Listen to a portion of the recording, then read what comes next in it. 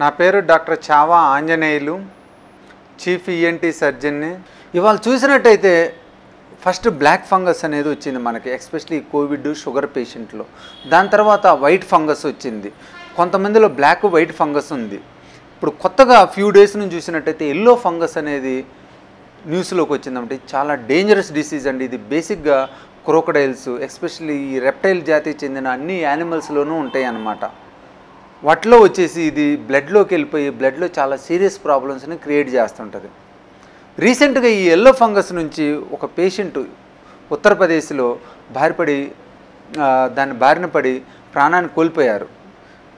ఇది ఏమవుతుందంటే basic yellow fungus systemic organs మీద అన్నిటి మీద ఎఫెక్ట్ చేస్తండి మనం బ్లాక్ ఫంగస్ వైట్ ఫంగస్ చూసినట్టయితే వైట్ ఫంగస్ ఆ లోకల్ టిష్యూస్ మీదే ఎఫెక్ట్ చేస్తాయి. బ్లాక్ ఫంగస్ చూసినట్టయితే ఆ లోకల్ టిష్యూస్తో పాటు దాని దగ్గరలో ఉన్న టిష్యూస్ అంటే ముక్కులో ఇబ్బంది ఉందను ముక్కు భాగంలో పక్క భాగంలో ఉన్న కంటి మీద పై భాగంలో ఉన్న బ్రెయిన్ దగ్గర ఎఫెక్ట్ చేస్తాయి. కానీ ఇది ఎల్లో ఫంగస్ అనేది సిస్టమిక్ ప్రాబ్లం సిస్టమిక్ ఇన్ఫెక్షన్ అంటాం. టోటల్ బాడీ మీద దాని దుష్ప్రమాణాలు ఉంటాయి అనమాట దానివల్ల పేషెంట్ వీక్ అయిపోతాడు సడన్గా పూర్తిగా ఎనర్జీ లేనట్టు అవుతాడు లెథర్జిక్గా ఉంటాడు. అలానే తినబుద్ధి కాదు ఆకలి పూర్తిగా చచ్చిపోయిద్ది. బాడీలో ఉన్న ఆర్గాన్స్ సరిగా పనిచేయవు. ఎస్పెషలీ స్టమక్ మీద కిడ్నీ మీద లివర్ మీద అన్నిటి మీద ఎఫెక్ట్ చూపిస్తుంది అనమాట సో పేషెంట్కి పూర్తి వీక్గా అయిపోయి తినటం ఇష్టపడకుండా ఇమీడియట్గా మల్టీ ఆర్గాన్ ఫెయిల్యూర్లోకి వెళ్తాడనమాట ఈ ఫంగల్ ఇన్ఫెక్షన్ నుంచి మల్టీ ఆర్గాన్ ఫెయిల్యూర్కి వెళ్ళినట్టయితే ఈ ఎల్లో ఫంగస్లో ప్రాణాన్ని చాలా ఉంటుందండి బతకటం చాలా కష్టం. రీసెంట్గా మనం ఏదైతే మనం అనుకుంటున్నామో ఏదైతే డయాగ్నోజ్ చేశారో యూ యూపీలో ఆ ఎల్లో ఫంగస్ వచ్చిన పేషెంట్ యూజువల్గా రికవరీ కాలేపాడు ఎంత ఎఫర్ట్స్ పెట్టినా కూడా.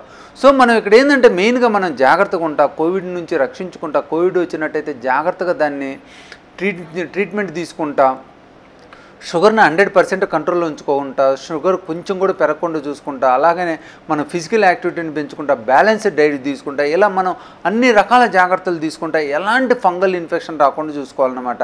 ఈ బ్లాక్ ఫంగస్ ఎల్లో ఫంగస్ అనేది చాలా డేంజర్ అండి. మనం చాలా వాటికి మంచిగా హెల్తీగా ఉంటా హైజీన్ని జాగ్రత్తగా ఉంచుకుంటా మనం ముక్కును శుభ్రం చేసుకుంటా నోటిని శుభ్రం చేసుకుంటా షుగర్ను కంట్రోల్ పెట్టుకున్నట్టయితే యూజువల్గా ఈ ఇన్ఫెక్షన్స్ రావన్నమాట. ఈ ఎల్లో ఫంగస్ మెయిన్గా ఏంటంటే అన్హైజీనిక్ కండిషన్లో ఆ హ్యూమిడిఫైడ్ కండిషన్స్ ఎక్కువ ఉండి ఎక్కడన్నా తేమడు తెమ్మడు ఉండి ఆ తెమ్మడు పక్కన బూజు మలినమైన పదార్థాలు ఉన్నట్టయితే అక్కడ ఈ ఇది వస్తుందన్నమాట. ఇది వచ్చి మనకి కనుక వచ్చినట్టయితే మటుకి చాలా ప్రాణాన్ని జరుగుద్ది. మీరు కోవిడ్ నుంచి రక్షించుకుంటా మీ చుట్టుపక్కల పరిసరాలను పరిశుభ్రంగా ఉంచుకుంటా ఎట్టి పరిస్థితుల్లోనూ బూజు కానీ తెమ్మడు కానీ లేకుండా చూసుకుంటా మీరు మీరు ఈ ఎల్లో ఫంగస్ బ్లాక్ ఫంగస్ నుంచి రక్షించుకుంటారు. వాల్నట్ మరి ఆప్రికాట్ ఈ డ్రై ఫ్రూట్స్ అన్నీ నానబెట్టుకుని ఒక ఎనిమిది నుంచి పది గంటలు తినండి. ఎప్పుడైతే సహజ సిద్ధంగా మనకు దొరికే ఈ వస్తువులు తిన్నామో మీ రోగ నిరోధక శక్తి పెరుగుతుంది.